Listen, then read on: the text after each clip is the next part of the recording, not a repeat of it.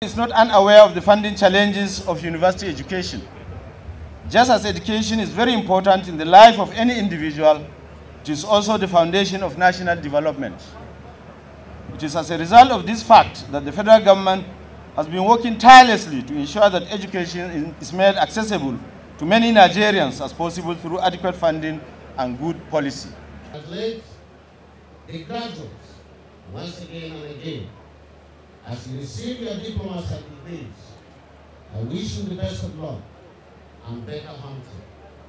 As always remember, farewell isn't goodbye. Give back to your alma mater. established by a network of scholars who were primarily teachers. It showed how scholarship was used to solve societal problems. It showed how scholars and their students organized themselves in the early ways then to address the socio-economic and governance problems of the society.